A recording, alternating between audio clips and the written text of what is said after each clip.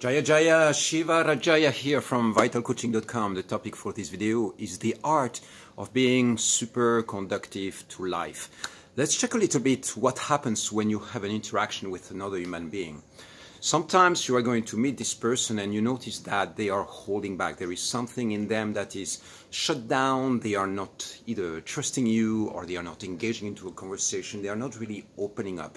And the reason why they are doing that is because there is there are layers of protection that stop them from actually engaging and going directly into a full open heart connection or conversation or interaction with you. So if you mirror that to yourself, you will realize that in any form of interaction that you have with another human being, there is going to be an exchange of energy. And that exchange of energy is going to create a, a, magnificent experience or something that is kind of locked down and held back, depending on how much you invest into the process.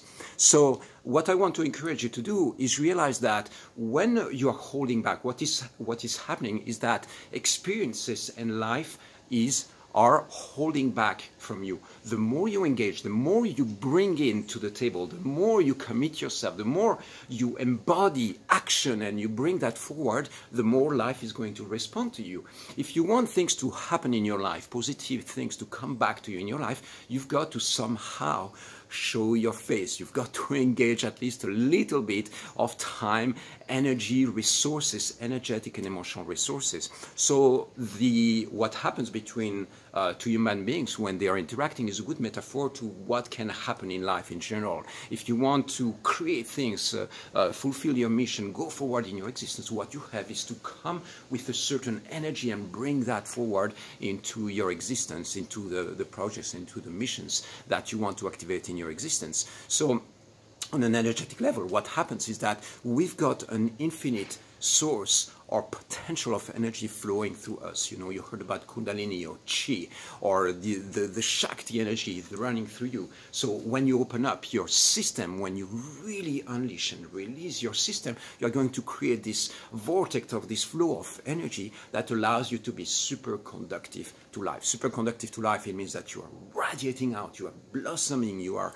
expanding into this field of energy, and that usually feels really good. So here's the advice for you today. Try to see what happens if you have the feeling that things are not, are not coming your way or that you are somehow constricted within limits of your um, of your energy or what's what's happening in your existence try to see what happens if next time you're having an interaction with somebody you try to open up a little bit more. This doesn't mean that you have to start singing through the streets and be completely joyous all the time okay? We're talking about something that is a little bit more subtle but realizing that when there is contraction and you're holding back life is going to hold back from you. So next time you have an interaction with another human being next time you're in a situation in social situations with being try to engage in conversation conversation, try to be interested, try to invest actually a certain amount of energy into that interaction so that something comes back to you in the exact